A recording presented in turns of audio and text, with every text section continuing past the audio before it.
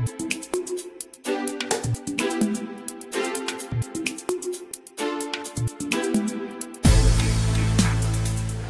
right, couples, your third and final dance, the swing.